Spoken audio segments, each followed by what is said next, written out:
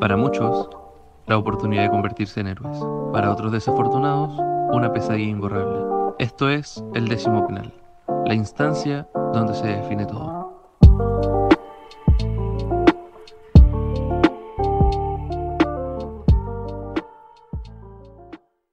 La bienvenida para todos, estamos acá en un nuevo capítulo del décimo Penal Podcast. Soy Alonso Sepúlveda, quien les habla y estamos acá en compañía, como siempre, de Lucas Franque. Lucas, ¿cómo estás? Y por favor, cuéntanos quién es el siguiente futbolista en pararse frente al balón acá en el décimo penal. Hola Alonso, muy bien la verdad, terminando las últimas pruebas de la universidad, así que contento. Pero ahora estoy mucho más contento porque tenemos el, agrado de conversar con uno de los mejores jugadores del ascenso nacional, Hablo de Byron Bustamante, quien ya lleva dos temporadas siendo fundamental eh, con la camiseta de Deportes Puerto Montt. ¿Cómo estás, Byron? Bienvenido al décimo penal podcast. Hola, saludarlo a ustedes eh, y también bueno a, todos los auditores que, que, lo, que lo siguen en su podcast y agradecer su invitación y, esperar de que sea una, una charla entretenida de fútbol y de, de otras cositas más. bueno, Byron, comenzar en, para, para hablar de, de, lo que viene ahora con, con, Deportes Puerto Montt, que es el partido vital con Rangers de Talca. ¿Cómo lo han preparado? ¿Ustedes han tenido un margen amplio para trabajar? Bueno, el último partido fue el año pasado. ¿Tuvieron ese receso? ¿Cuánto tiempo tuvieron descansando? Y ya, mm, ¿cómo han tomado este parón para, para el partido con Rangers? Claro, bueno, como tú dices, eh, se hizo larga la espera a este nuevo partido. Y bueno, tuvimos dos días libres ahí para, para la fiesta de fin de año y seguimos mentalizados. Eh, en ningún momento perdimos el foco, seguimos trabajando en lo que iba a ser el partido con Rangers y, es un partido eh, fundamental para nosotros, es un rival directo que si logramos quedarnos con el triunfo lo alcanzamos la tabla de posiciones y eso es fundamental para nuestras pretensiones. Ahora simplemente queda a seguir esperando que llegue el día y, tratar de hacer lo mejor posible para quedarnos con la victoria, que, es lo que necesitamos. ¿Cómo piensas tú que, se va a dar este partido y también qué se puede esperar de Deportes Portomón para, para el partido en Talca? Eh, de Deportes Portomón se puede esperar lo que, lo que hemos mostrado a lo largo del campeonato. Creo que hemos demostrado ser un equipo que, ha aprovechado sus momentos eh, durante el juego y que cuando ha tenido las ocasiones la, ha aprovechado para, para sumar de a tres Así que esperamos que, en este partido, que, es de visitante, donde en algún momento le costaba bastante a Puerto Montt y, últimamente está rescatando eh, puntos importantes para, las pretensiones, nos podemos quedar con un triunfo que, sería lo ideal y que es lo que necesitamos. sabemos que, Ranger tiene un muy buen juego, tiene un cuerpo, un técnico, bien digo, eh, capacitado para esta instancia, que lo ha demostrado a lo largo de, de su trayectoria, así que esperamos de que el partido se quede a favor nuestro y que, podamos hacer lo mejor posible para, esta institución que, como, como ustedes dijeron al inicio de esta entrevista, eh, ya llevo dos temporadas y en la primera estuvimos peleando la liguilla. Ahora las aspiraciones son un poquito más y, me encantaría, ¿por qué no tener un ascenso con Deportes Portamón y terminar esta temporada de la mejor manera? Byron, y no es un, no es un misterio que, que la primera vez esta temporada al menos o sea, igual muchas temporadas anteriores también han sido bastante irregulares. Por ejemplo, San Marcos de Arica había terminado la primera rueda en las últimas posiciones y hoy en día está para arriba de ustedes en la cuarta, en el cuarto lugar. ¿Cómo, cómo se toman ustedes este torneo, eh, teniendo en cuenta que se juega casi dos veces por semana, no se puede planificar mucho un partido, hay muchos viajes? Para ustedes, ¿cómo ha sido esta temporada en general y, y cómo se lo ha tomado también el cuerpo técnico y los jugadores? Claro, este, yo creo que sin duda esta ha sido la, más irregular en, tiempo de partido a partido. Tuvimos la pandemia y ahora tenemos esta seguida de partidos que de repente se paran porque un equipo que salió afectado con el COVID y tiene que recuperar sus partidos pendientes. Pero lo fundamental ha sido el, acoplo del cuerpo técnico y los jugadores de seguir creyendo en la idea de, de no desviarse y seguir mentalizados que, con el objetivo que que desde un principio ha sido el ascenso, en el inicio del campeonato o en la primera rueda, por, a grandes rasgos, por ahí se dudaba mucho de lo que podía lograr Puerto Montt. Y en esta segunda rueda dejamos demostrado que éramos un equipo que estaba para pelear. Quizás nos faltó campeonato para poder eh, alcanzar a Ñublense, que, está ahí, que bueno, está cerquita. su opción, está, está cerquita. Pero, pero quedó demostrado que Puerto Montt estaba capacitado y que hoy en día depende solamente de nosotros para, poder quedarnos con, con ahora el segundo lugar, que, sería eh, muy favorable para nosotros para, para, llegar a esa final. Sí, y también, o sea, se vienen con muy, o sea, con un panorama muy positivo Deportes Puerto Montt contra Rangers, debido a que no pierden hace nueve partidos, o sea, han empatado cinco y han ganado cuatro. Y, debido a esto, ¿cómo, ¿cómo se lo ha tomado el plantel en general esto de no perder hace ya casi dos meses? Recordemos que la última derrota fue entre San Felipe, si no me equivoco, por 2 a 1 a principios de noviembre. Ya van casi dos que, que no pierden. ¿Cómo es un envío anímico esta seguidilla de, de, partidos sin conocer derrotas para, para, lo que resta de torneo y la clasificación a liguilla? Sí, eh, pero créeme que, que, no lo tomamos tan así porque hemos tenido muchos empates eh, que quizá eran para, para, quedarnos con una victoria y, eso nos hubiese eh, permitido estar más arriba de la tabla de posiciones y mejor posicionado. El último partido que tú dices que perdimos con San Felipe lo empezamos ganando y nos dan vuelta el partido de una forma que, que no, no, nos tiene que volver a pasar y, y, creo que desde ahí aprendimos la lección y, y, nos pusimos una meta de llegar lo más alto en la tabla de posiciones y, ya quedamos reflejados en todos los partidos, en aquellos que quizás no están para ganar y los cerramos y un puntito que, que nos ha permitido estar ahí. Entonces, eh, lo seguimos tomando con calma, seguimos trabajando, pensando siempre en el objetivo y en seguir mejorando, porque partido a partido es una prueba para demostrar de que, de que se sigue trabajando de la misma manera, de que el equipo está convencido y siempre aspira más, a seguir mejorando, a seguir teniendo aún más el balón de, de lo que fue el partido anterior y crearse más ocasiones que el partido anterior para que eso nos permita eh, al fin y al cabo ganar los partidos, que es lo importante. Claro. Sí, y como tú mismo dices, eh, esa, esa cantidad eh, alta de empates, yo encuentro que, que, el único empate, por así decirlo, entre comillas, merecido que tuvieron fue contra San Marcos de Arica, ya en el norte, donde Castillo fue una de las figuras del partido, donde tapó creo que siete balones fácil de gol pero de ahí los, los, otros empates, claro, ustedes quedaron con un mal sabor de bocas porque, por ejemplo, contra Cobreloa se lo empatan en el último minuto y hubieran sido tres puntos de oro eh, esos que se hubiera traído de, Calama. Claro, como tú dices, San Marco creo que fue el rival más complicado. Su cancha nos hizo pasar eh, un, momento muy amargo. Eh, lo subimos sobrellevar y nos quedamos con un punto valioso. Pero pero así como fue Cobreloa, que nos podíamos quedar con, el triunfo, también nos queda eso de ese empate con Copiapó, que es nuestra casa. Y, si a mí me pregunta, para mí importantísimo ganar en nuestra casa. Un empate tiene esa hora de derrota para nosotros. Eh, así como se habla mucho de que el Chinquihue eh, eh, invulnerable, por así decirlo, que Puerto Montt siempre tiene eh, saldo positivo. Ese saldo positivo hoy en día nosotros pensamos que tiene que ser un triunfo. Eh, si no ganamos, lo sentimos como una derrota y en el camarín se siente. Entonces creo que por ahí va esa calma que tenemos de, que si bien es cierto tenemos una seguidilla de, partidos sin perder, un invicto por así llamarlo, eh, no nos hace olvidarnos de nuestro objetivo, eh, el saber que hay muchos empates que son en nuestra casa y que eso sin duda lo sentimos como una derrota prácticamente. Recién tú mencionabas que les faltó campeonato por ahí para alcanzar a, a, Ranger, o sea, a Ñublense, perdón. Eso se vio viendo reflejado con los cambios de esquema que fue poniendo el mortero Aravena. Yo recuerdo ese partido con Ñublense donde eh, van con una línea de tres, donde fue un partido que Puerto Montt termina ganando y esa línea de tres no la soltó más Puerto Montt después.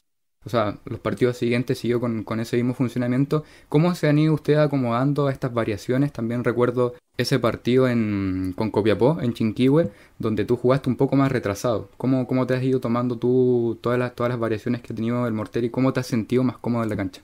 Totalmente válida. Creo que todas las decisiones que el profe ha tomado a lo largo del campeonato han sido eh, para que para intentar tener un beneficio en, el equipo y tratar de sacar el mejor resultado.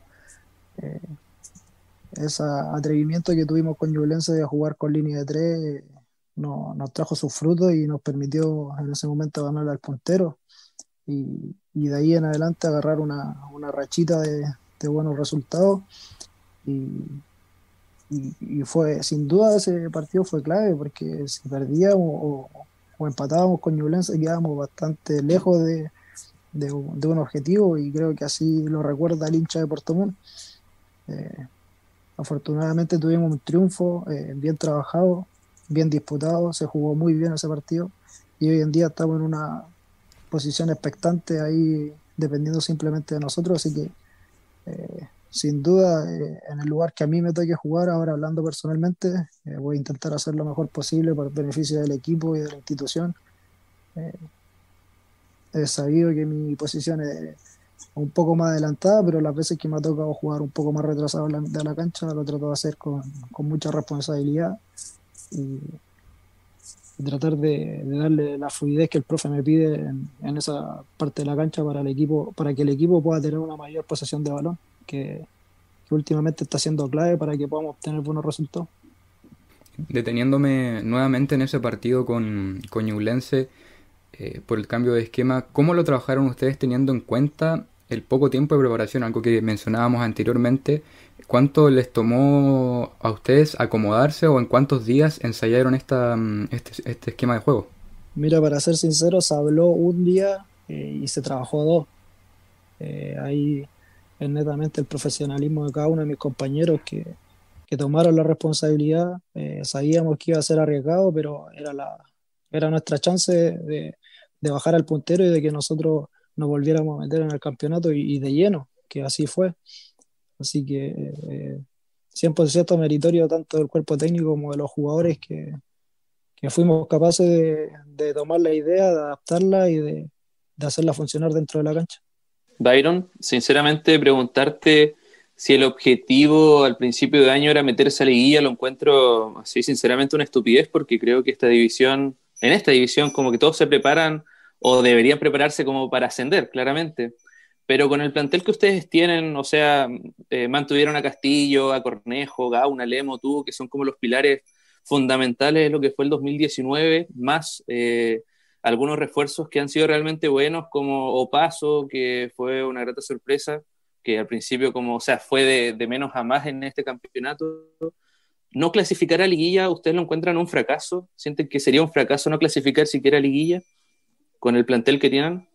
Sin duda, eh, creo que el equipo se armó y los jugadores que están y que, llegaron en ese momento, eh, veníamos con esa misión de, pelear un ascenso. Eh, creo que es fundamental para nosotros entrar en la liguilla y, dejar una, mejor impresión a lo que fue la liguilla del campeonato anterior, cuando quedamos eliminados con Ñublense en Santiago.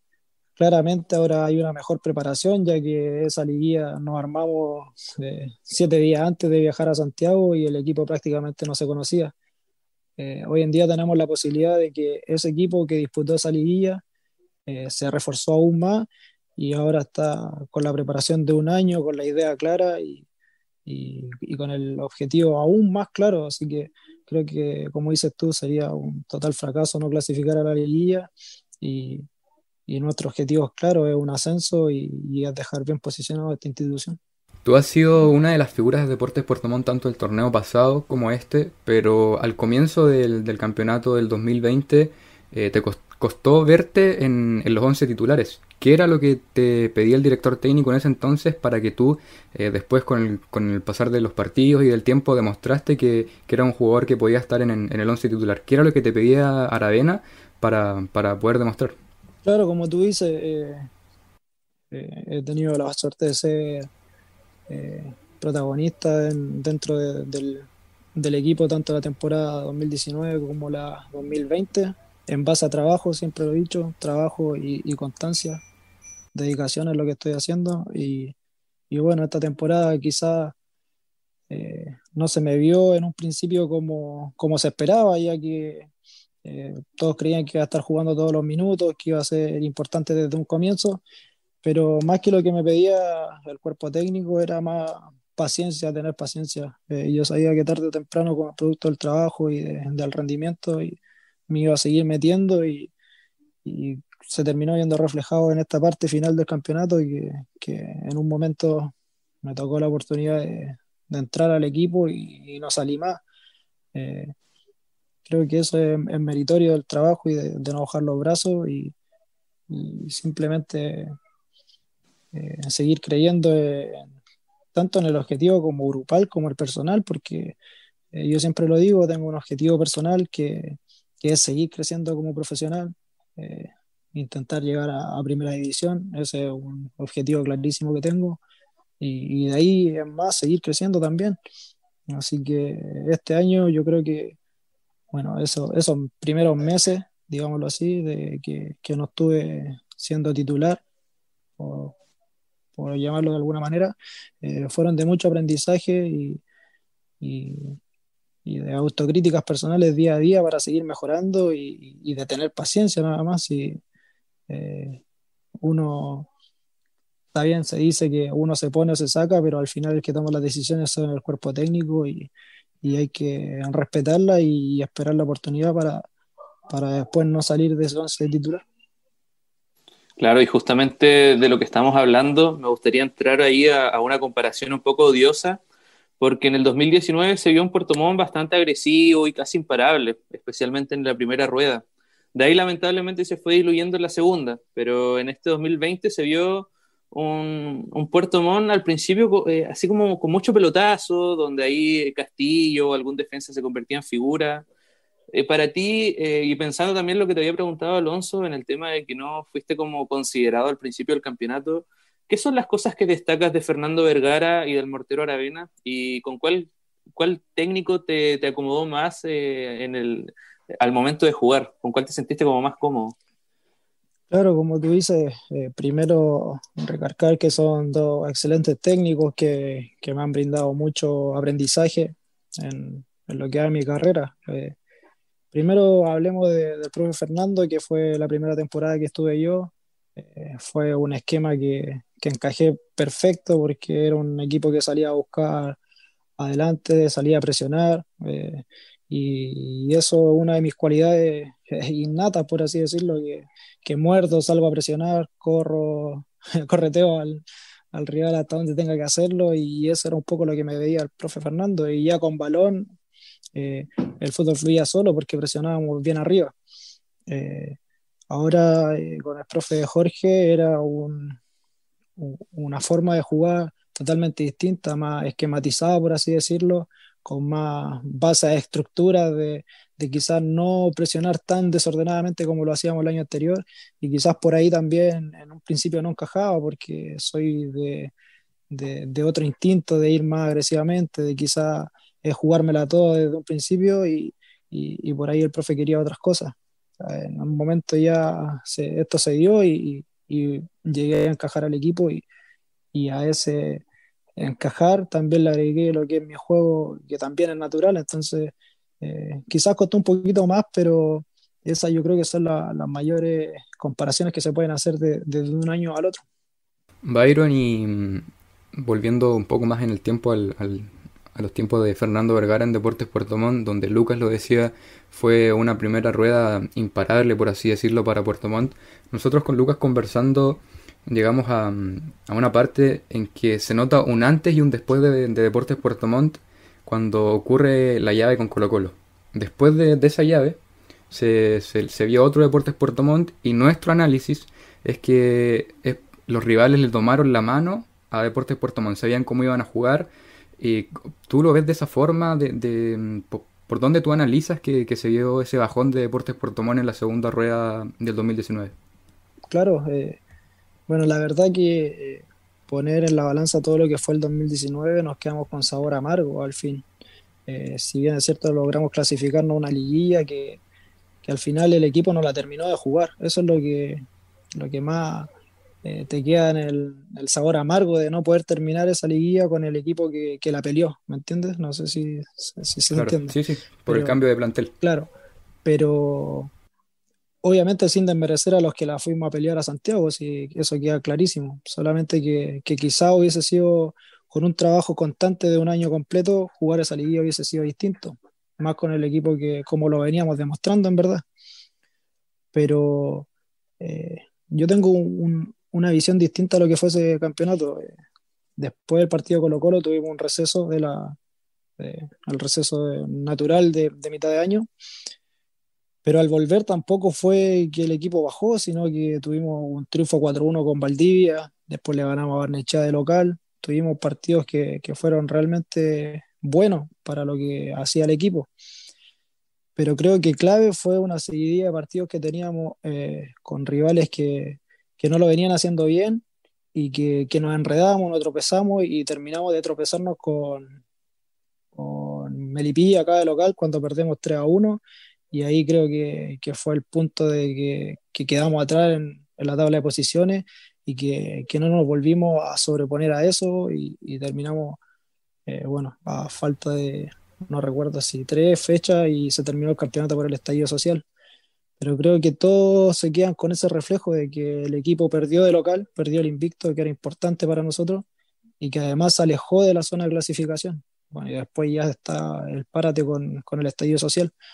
Entonces, creo que por ahí va un poco el tema. Eh, eh, perdimos los partidos que en ese momento eran clave y, eso nos deja el sabor amargo y le deja el sabor amargo a toda la gente que estaba confiando en ese plantel. Y ya para, para finalizar el contraste del Deportes Puerto Montt 2019 y 2020, ¿crees que um, una de las grandes eh, diferencias en beneficio en que tiene este Deportes Puerto de, este, de, esta temporada es que tiene un plantel mucho más amplio. Yo lo veo así que tiene eh, dos jugadores fácil por puesto que pueden jugar sin ningún problema, cosa que al otro, al Deportes Puerto Montt 2019 eh, no era tan así, eh, no eran tantos eh, jugadores de un nivel competitivo. ¿Crees que eso también perjudicó en el, en el, desarrollo completo del, del, torneo, como ustedes lo dicen, después de, de ese partido con Melipilla? puede ser una alternativa, pero yo siempre confié en mis compañeros que teníamos en esa temporada y lamentablemente no logramos el objetivo.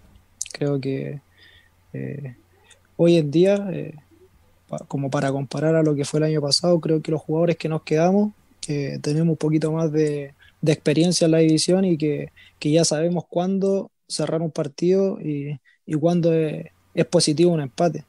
Creo que en ese torneo eh, los partidos que quizá era para cerrarlo porque es mejor quedarte con un punto que con nada. Eh, nosotros seguíamos buscando y ahí perdíamos puntos que fueron importantes al final de la temporada. Pero este año hemos sabido aprovechar eso, eh, manejar ese, esa experiencia, por así decirlo, y, y, y, si el partido no está para, para ganarlo, que, que, tampoco lo perdamos, y creo que ahí lo hemos sabido cerrar bien y, y hoy en día nos tiene mm, eh, expectante y mejor posicionado. Bueno, Byron, y, justamente lo que tocaba Alonso con, con, el tema de Colo Colo, metámonos a un tema que yo creo que todos quieren saber, a toda, toda la audiencia de, del podcast, y que de hecho fue una de las preguntas que más se repitió en una sección que tenemos más adelante del capítulo. Cuéntanos, Byron, ¿qué, qué pasó realmente con Colo Colo? ¿Hubo sondeos? ¿Se habló con tu representante? Por favor, cuéntanos porque fueron, ¿cómo, o sea, ¿cómo fueron esos días para ti que se te vinculó con uno de los clubes más grandes de Chile? Claro, fue, fueron lindos momentos, en verdad. Eh, en lo personal fue muy gratificante que, que aparezcan estas cosas, que, que se sepa que, que habían sondeo y cosas así. Pero la verdad eh, eh, lo manejó en su momento mi representante y yo solamente me enfocaba en, en lo que era Deportes Puerto Montt. Traté de, no desviarme y seguir enfocado en, en el objetivo grupal y seguir esperando mis objetivos personales. Así que me quedo tranquilo, me quedo con la sensación positiva de que un equipo grande de Chile puso su ojo en mí y, y, creo que de ahora en adelante solamente me queda seguir trabajando para que en un futuro un equipo grande no solamente se fije, sino que también se atreva y confíe en mis capacidades. Así que, eh, como lo dije recién, me enfoco en seguir trabajando, en hacer las cosas bien y hoy en día simplemente en, en llegar a lo más alto con Deportes Puerto Montt y eso significa un ascenso. Y tampoco es un secreto que gracias al rendimiento que has tenido estos dos años, eh, ofertas no te han faltado. A la mente se me viene a principio de año eh, que se te anduvo ahí como vinculando con Santiago Wanderers también. ¿Fue cierto? Eh, ¿Hubo algún otro club que estuvo interesado en contratarte? Por ahí también, no sé, como que muchos me preguntaron si, si era cierto como un rumor que tenías con O'Higgins, por ejemplo. Pero si es cierto, por ejemplo, lo, lo de Wanderers. Eh, sí, eh, la verdad es, es, un poco gracioso igual porque eh, he sonado en, en, bastantes clubes y, y, y, la mayoría han sido ciertos. Eh, creo que por ahí, eh, no sé, no sé la verdad cómo, cómo lo manejarán los clubes simplemente me enfoco en, en, mí y en no desviarme, en seguir tratando de, de hacer lo mejor para, para el club que estoy hoy en día, que es Puerto Montt, tratar de hacer las cosas bien y, y eso va a llevar a, a mantener mi nivel y, y, de que se sigan fijando en mí. Solamente me queda ahora esperar de que uno de, de todos esos equipos que, que, que, quizás pregunta que, que realiza oferta o etcétera, eh, se atreva y, y, confíe. Así que eh, no me desvío, no, no me desespero, no me vuelvo loco, simplemente me, me enfoco en seguir trabajando día a día y, y ya llegará el momento de, de, pegar el salto a primera división, que es lo que, que es lo que aspiro, eh, es mi objetivo a corto plazo. Y, y, por ahora seguir enfocado en Puerto Montt y quién sabe, quizás logramos el ascenso con Puerto Montt y me termino quedando acá. Eso solamente lo sabrá el destino y seguir creyendo en, en las capacidades, tanto personales como grupales. Sí, estaría bueno que, que Puerto Montt ascienda para que no, para que no te vayas. Po. Pero respecto a los, sí, pero respecto a, a, los clubes que se han interesado por ti, o sea, eh, tú me dices que no se da, no se da esta llegada porque los clubes no se atreven a, a dar como ese, ese puntapié final, o es porque la directiva de, de Puerto Montt quizás te, te, quiere por ahí amarrar un poquito hasta, hasta el término de tu contrato? Es que es lógico, yo, eh, bueno, si bien el pase es mío, eh, pertenezco a Puerto Montt y por, por, esta temporada y por la, el fin de la temporada 2021. Y, si Puerto Montt quiere algo, lo van a tener que, que poner, eh, es lógico. Así que eh, yo me enfoco en lo que, que, a mí me conlleva, que, que jugar al fútbol, que tratar de, de, hacer lo mejor posible para la institución, que por la que en, la, en donde yo estoy y donde me debo. Así que lo demás lo dirá el tiempo. Eh, aún soy joven, por así decirlo. Eh, para el medio chileno tengo 25, pero todos saben que acá eh, no, no, se atreven con jugadores tan jóvenes y con, el, con 25 años una edad promedio. Así que eh, seguir enfocado en, en, en, hacer las cosas bien, seguir creyendo en, en el objetivo personal que tengo y, y esperar nada más. Eh, ya llegará el momento. Bueno, vamos cerrando esta parte del programa, donde ahora vamos a pasar a saludar a nuestros auspiciadores que están siempre con nosotros acá haciendo el aguanta el décimo penal. En Entre Mates y Café encuentras Termos Stanley, yerba mate tradicional y saborizada, café sin gluten, chocolate caliente, infusiones y mucho más. Encuéntralos en Janequeo 1510 Concepción y en sus redes sociales como Entre Mates y Café. Además, contamos con envíos a todo el país. No lo olvides, Entre Mates y Café. En Tres Cuadra diseñamos y fabricamos cuadros decorativos de la más alta calidad para todos los futboleros. Además, manejamos diferentes formatos y tamaños para encontrar tu cuadro ideal. Y si no es suficiente, también hacemos personalizados. Desde ahora, recordar esa emblemática camiseta o aquel gol inolvidable no solo está en tu memoria, sino lo puedes tener al frente tuyo. Síguenos en Instagram como Tres Cuadra. Contamos con envíos a todo el país. Bueno, ya estamos de vuelta acá en el décimo penal. Agradecer como siempre a Entre Mates y Café y a Tres Cuadras que próximamente se viene otro sorteo. Vamos a hacer un segundo sorteo donde estuvieron participando mucho, así que ¿por qué no se pueden ahí ganar eh, un cuadro de la camiseta de Byron Bustamante? Si usted hincha de Puerto Montt, puede, puede participar por un cuadro de la camiseta del 10 Alviverde. Bueno, Byron, ahora vamos a, pasar a, la, las preguntas que han dejado los hinchas en, en, redes sociales. Le damos aquí un espacio también a, a nuestros seguidores, donde Nico Materazzi pregunta, ¿qué es Puerto Montt para Byron Bustamante? Eh, bueno, eh, si hablamos de la ciudad, es importantísimo eh, me han hecho sentir como en casa, eh, me he sentido muy cómodo acá en Puerto Montt y como institución eh, es el equipo que confió en mí, que me abrió sus puertas y en, todo lo que llevo acá he tratado de, de agradecerle eso en cancha. Eh, yo a Deportes Puerto Montt llegué a una prueba que en ese momento me vio el profe Fernando y, y el profe Fernando confió en mí siempre voy a estar agradecido de la institución, de lo que me ha brindado y lo que en los momentos que, que me ha apoyado. Así que para Deportes Puerto o sea, para mí Deportes Puerto Montt fue una oportunidad que, que hasta el momento y, y, a futuro quiero seguir aprovechando. Byron, mire, y acá Basti Jara te pregunta cuál es el rival que más marca su localidad en la primera vez. Creo que Deportes Puerto Montt la marca y eso está plasmado en, en estadística estadísticamente Puerto Montt es un equipo que se hace fuerte, que, que lleva bastante gente al estadio y que que creo que, que demuestra su localidad como tiene que ser. Así que me quedo con Deportes Puerto Montt. Sole Sandoval te pregunta si te gustaría retirarte en General Velázquez. Sí, el, el club de mis amores, todo, bueno, toda la gente que a mí me conoce sabe la historia, sabe lo ligado que soy a esa institución y, y, y bueno, retirarme a lo grande tendría que armar una tremenda carrera, pero de retirarme me encantaría ir en General Velázquez y, y con todos mis amigos, mi familia y la gente que, que me vio jugar desde chico en la galería sería emocionante para mí. Byron, mire, de acá Mausiki, el contertulio de, de Deportes Puerto Montt, show de goles de CF, le pregunta cuál es el consejo más valioso o decisivo que ha recibido estando en Deportes Puerto Montt y quién te lo dijo. Lo más valioso. Sí, o decisivo, el consejo ahí, el, el que más te ayudó como a, a crecer futbolísticamente. O personalmente también. No, sabéis que ahora a la mente no, no se me viene algo específico.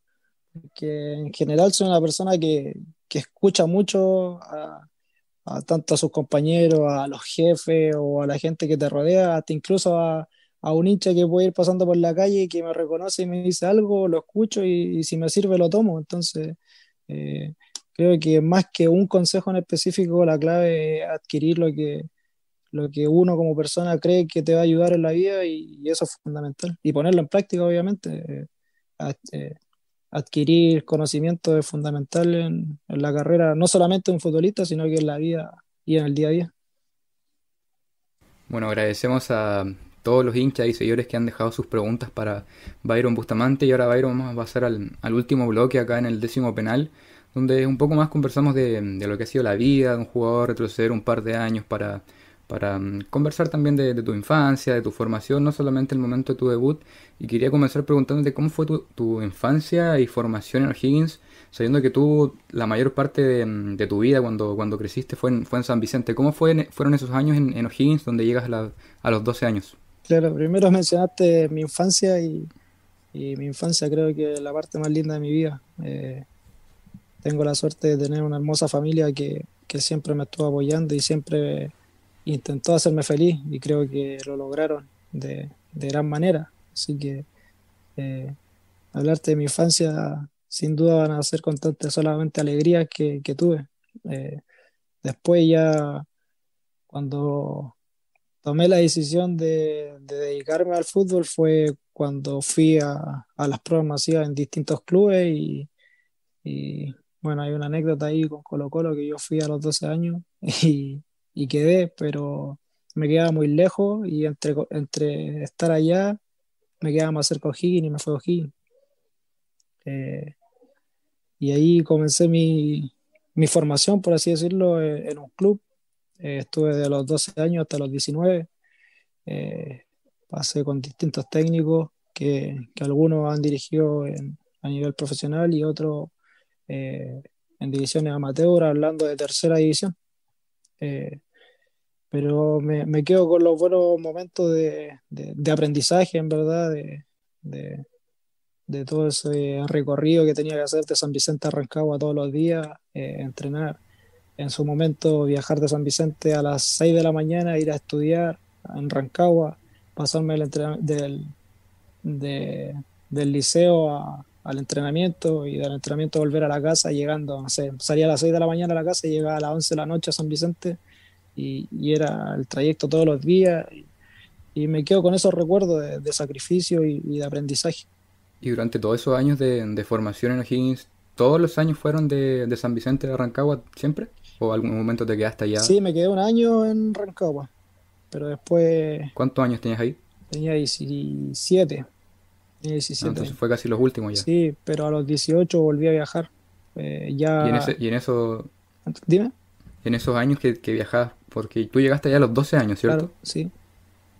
De los 12 hasta los 16, eh, ¿en algún momento fue para ti frustrante y, no sé, decidir, eh, no quiero viajar más haciendo esto y no juego más? ¿O siempre eh, lo tomaste con motivación, esos- esas horas de viaje? No, créeme que, que jamás se me pasó por la cabeza eh, dejar de jugar, en verdad.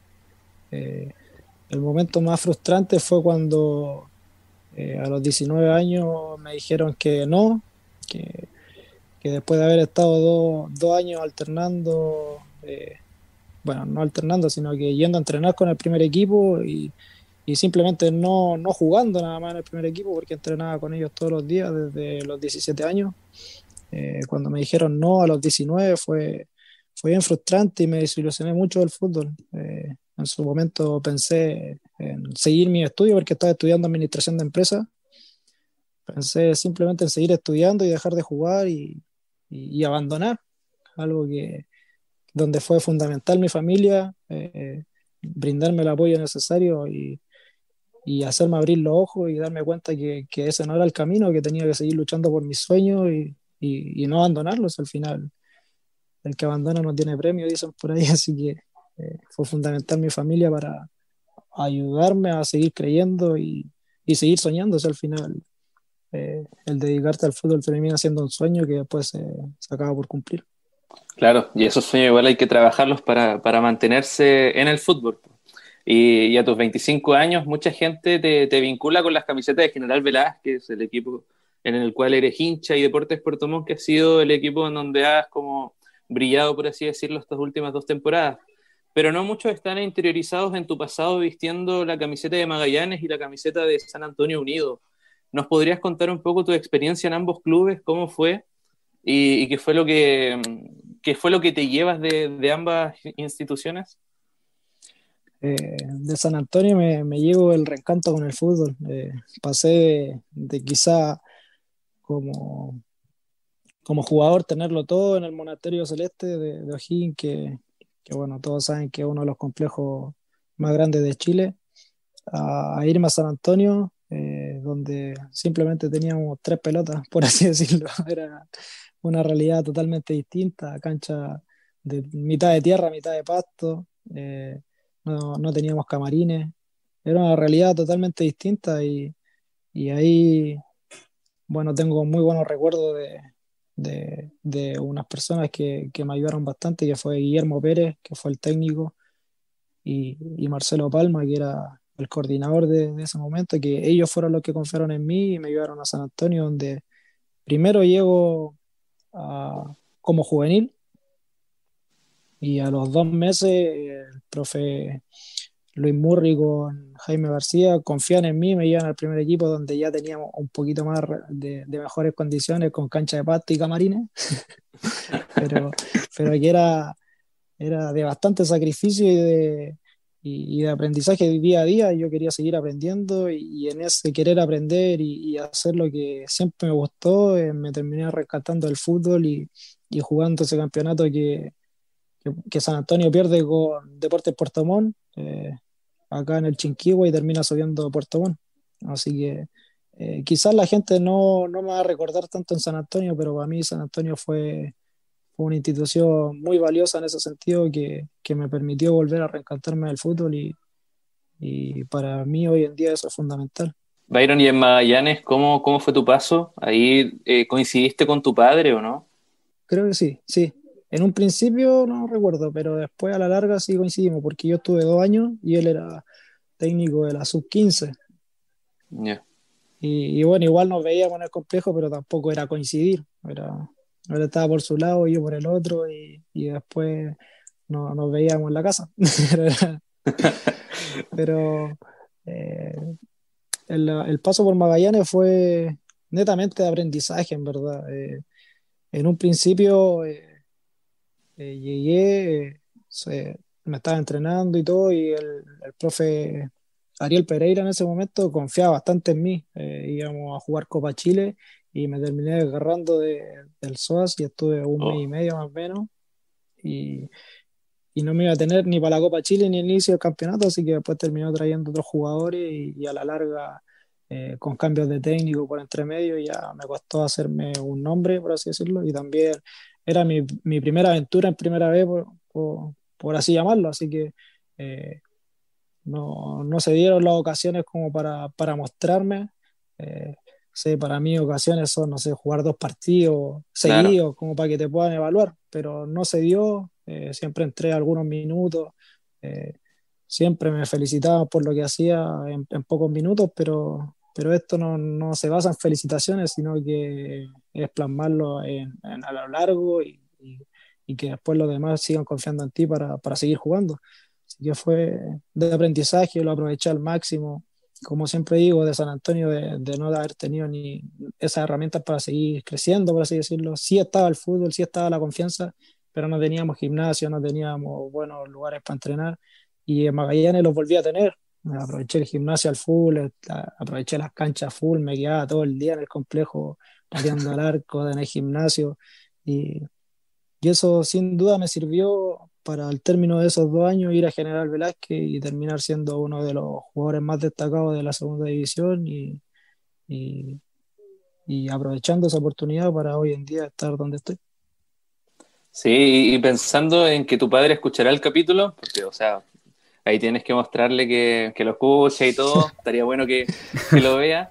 Eh, ¿Cómo ha sido la influencia que él ha tenido, eh, César Bustamante, tu padre, en tu crecimiento como futbolista, teniendo en cuenta que es director técnico, porque me imagino que él ve y vive tus partidos de otra forma a comparación de, no sé, de otros familiares, quizás él lo analiza más a fondo y después te comenta las cositas que, que te equivocaste o no para ir mejorando, o no dice nada.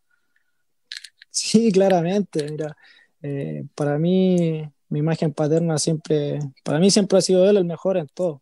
Eh, yo empecé a jugar a la pelota viendo, o jugar al fútbol, porque a algunos les molesta cuando se dice jugar a la pelota, pero empecé a jugar al fútbol viéndolo a él. Si bien es cierto, no era fútbol profesional lo que él jugaba, pero, pero sí a nivel de, de ciudad o de región, yo lo veía y siempre era era el mejor jugador, siempre era el premio goleador del campeonato, porque él jugaba de nueve. Y, y por ahí yo siempre lo seguí, lo seguía a todas las canchas, lo, lo veía, eh, quería ser como él, quería ser como él, quería ser como él. Y, y bueno, después eh, fui armando mi camino en el fútbol, yendo a, a O'Higgins, eh, haciendo mi formación, y él siempre estuvo ahí, siempre me acompañaba a los partidos, no era de esas personas que te gritan, que te dicen, ah, esto, no, pero llegaba a la casa y me decía, mira, fíjate en esto, fíjate en esto otro, siendo que en ese momento él era administrador de empresa. Todavía no se dedicaba a, ser técnico. Y bueno, hace pocos días lo escuché en ADN Radio, no sé si se puede nombrar, pero ya la nombré. y, estaba hablando y, y dijo algo que yo nunca había escuchado, que que él se dedicó al fútbol por mí y eso me sorprendió, que él tomó el camino de ser técnico para no ser ese típico padre que acompañaba al hijo y, le recriminaba sin saber el, camino duro que esa persona iba a recorrer.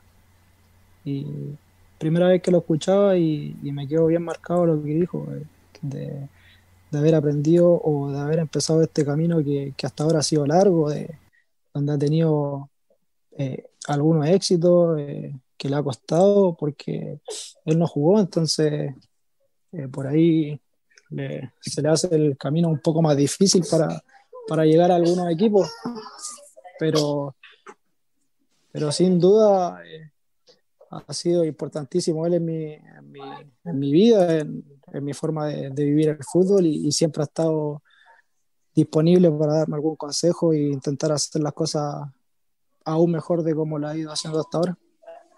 Entonces sería soñadísimo compartir con él en un equipo, que él te dirija y tú ser ahí, no sé, en eh, hipotéticamente hablando, como lo preguntaba Sole Sandoval, en tu retiro en General Velázquez, ¿o no? ¿Sería bueno ahí un retiro con tu padre dirigiendo? Sí, sería un sueño, en verdad, porque eh, veo lo dedicado que es, lo vi en su inicio cuando estaba en tercera división y logró un ascenso.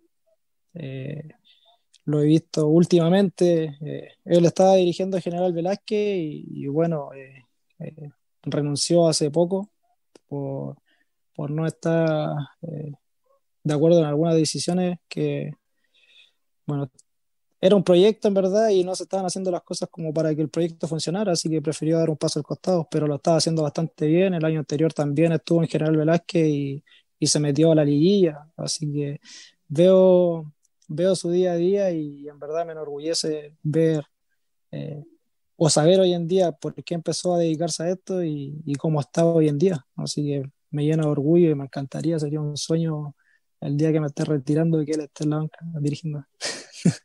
Bueno, como estábamos mencionando, Byron Bustamante es de San Vicente. En San Vicente está General Velázquez, cuyo club él es hincha, donde también jugó.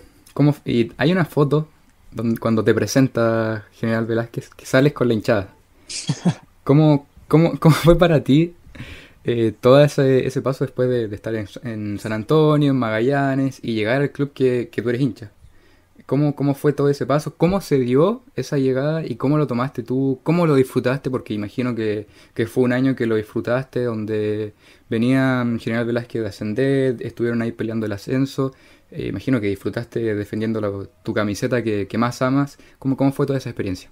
Sí, hermosa. Eh, una experiencia inexplicable para mí, en verdad, porque eh, tener a toda tu familia desde el abuelo hasta tu primo chiquitito en la galería y, a todos tus amigos y, estar jugando con la insignia que, siempre fuiste a alentar, por decirlo, eh, era hermoso. La foto que tú dices me la tomaron el, año anterior, eh, al fin de la temporada, cuando General Velázquez logra el ascenso. estaba vuelto loco en la galería con mi hermano y mi mejor amigo. vamos, a, vamos a hacer un post de esto con, con, esa foto ahí, para que la gente la vea. Sí, y, no, hermoso el año anterior había logrado el ascenso, y que ya era emocionante para mí como hincha que el club volviera al fútbol profesional y, siendo campeón. Y mi llegada al club se gesta por, por el preparador físico eh, Cristian Holguín, que me había tenido en San Antonio y, y al llegar a San Vicente, bueno, supo que yo había terminado Magallanes y, y se contactó conmigo y, y, ahí se gestó mi llegada al club. Pero en el momento eh, puse todo en la balanza, eh, venía de haber estado en primera vez sin haber jugado tanto y, yo lo que necesitaba era jugar más que seguir en un equipo de la B y sin jugar. No sé si, si, se explica como la manera que lo quiero decir, claro. pero para el futbolista es importantísimo estar, estar jugando y, para yo darme a conocer lo tenía que hacer así. Eh, iba a ir a un club donde lo, lo que más me ofrecían era jugar, en verdad. y, esa oportunidad es, inmejorable. Eh, jugué la totalidad de los minutos prácticamente, jugué todos los partidos, siempre titular. Eh, me tocó ser capitán en, algunos momentos y, fue una experiencia única y, que la aproveché al máximo. Eh, al término de esa temporada terminé siendo de los mejores volantes de la categoría y, en el equipo eh, parte importante y así me lo hacía sentir la misma gente que era la misma gente que, que, me veía al día a día yendo a comprar al supermercado, la misma gente que me veía ir a dar una vuelta a la plaza, era la misma gente que después me, me felicitaba por, por, el desempeño que estaba haciendo. Tu familia y amigos igual son, son hinchas de General Velázquez, ¿no? Sí, de verdad, sí, somos todos hinchas velasquinos. Y, y en alguno de esos momentos, no sé, en algún momento eh, sacaron la parte de familia o de amigos y cayeron puteadas a Byron Bustamante por algún partido, alguna jugada? ¿O siempre fue apoyo? Siempre, siempre, siempre.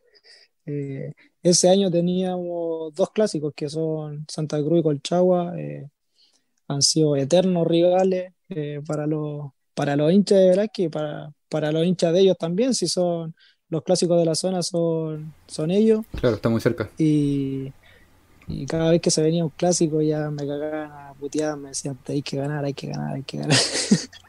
Mis amigos también, porque eh, mi círculo de amistades son todos desde muy pequeños y todos nos íbamos al estadio. Era, la entretención del día domingo era ir a ver a General Velázquez, siendo que nosotros no teníamos noción aún de qué campeonato jugaban, de qué, pero era ir al estadio, era ir a, a gritar, era ir a estar en la galería.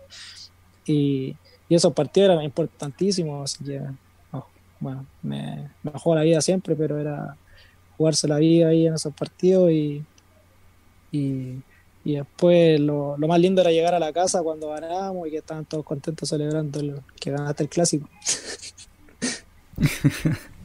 bueno, como tú mencionabas antes de llegar a, General Velázquez, cuando estaba en Miami, lo que buscabas tú era sumar minutos, tuviste esos minutos, demostraste el jugador que eres y llega esta oportunidad en Deportes Puerto Montt donde llegas a prueba al club. ¿Cómo se gesta? ¿Tú la buscas? ¿Ellos te llaman para que tengas a probar? ¿Cuánto tiempo estuviste? eh, te tuviste quedando, en una pensión, ¿dónde te, tenía el club y cómo fueron esa semana o esas semanas a prueba en Deportes Puerto Montt? Mira, eso fue un poco anecdótico en verdad. Eh, estaba hablando con mi representante, que es Gerardo hoy y a nosotros nos quedaba la última fecha, que era ir a jugar a Iberia con General Velázquez.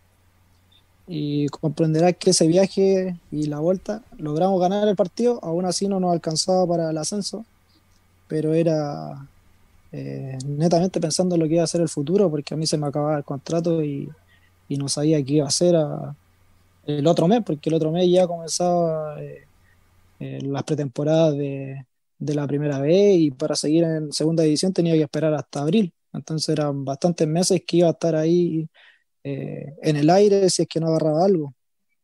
Y en el momento de juntarnos con Gerardo me dice, mira, hay opciones en distintos clubes, pero tienes que esperar. Y esa espera a mí me estaba matando. Y al llegar de Iberia me dice, eh, bueno, mira, tengo esto que es una prueba, te tendrías que ir pasado mañana.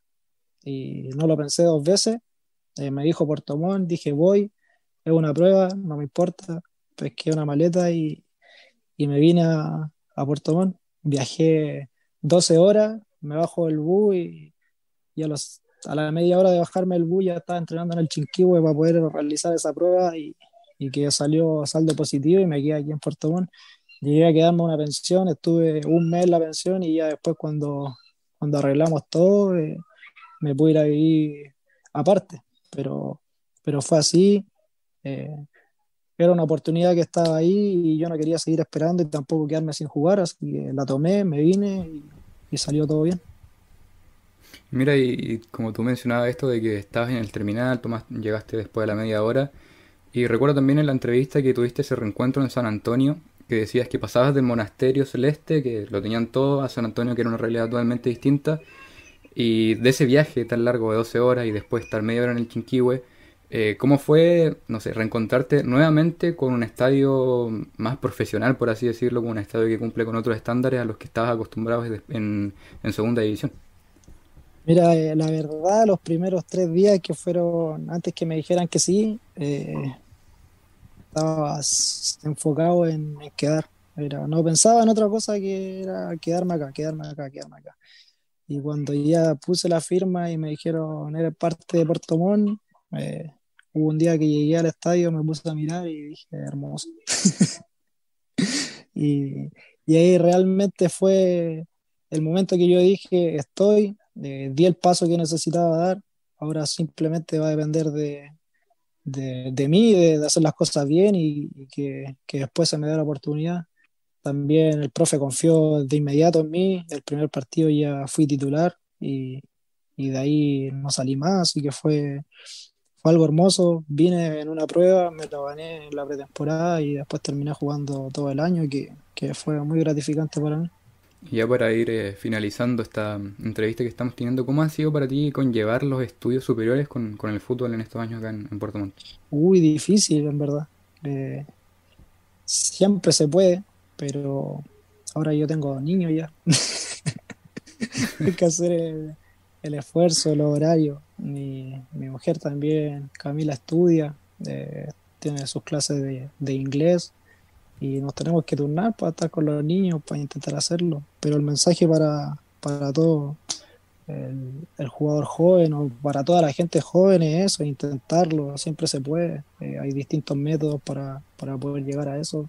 Y, y, es muy cierto que un título o una carrera no te asegura nada en la vida, porque al final después tienes que, que seguir rebuscándote las maneras de, de trabajar en, en lo que tú estudias, pero pero siempre es bueno enriquecerse con conocimiento y, aprender cosas nuevas.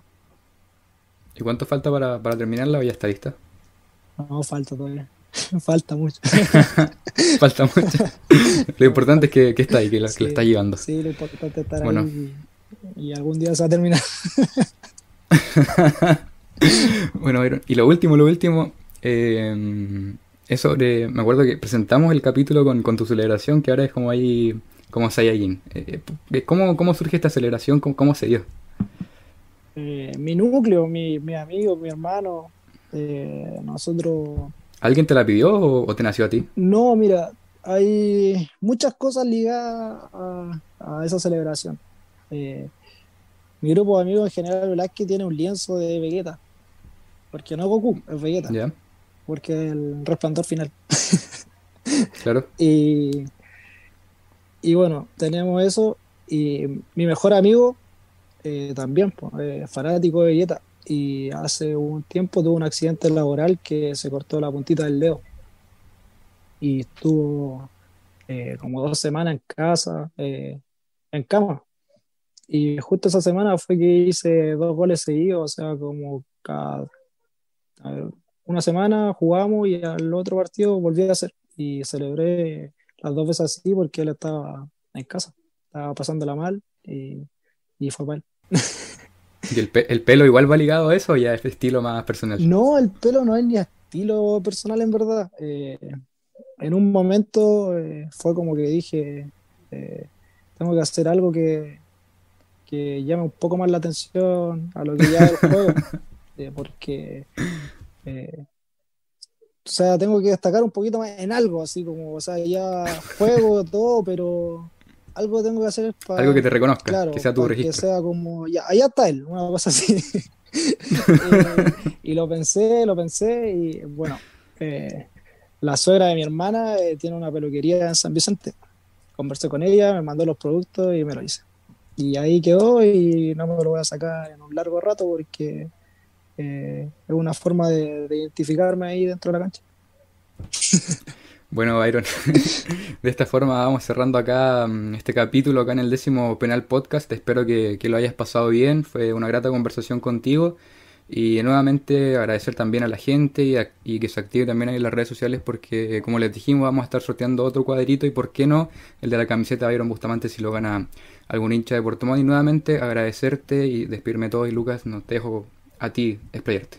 Sí, mira, bueno Byron, muchas gracias por, por compartir este espacio con nosotros, esperamos de todo corazón que puedan clasificar a liguilla y ascender a primera para que no sea necesario que te vayas a otro club para vivir esa, esa experiencia en primera A. Así que de verdad se, espera que ascienda. Y el pelo se acaba. Sí, sí, la celebración de Vegeta, porque ya sabemos que no es Goku, así que de Vegeta.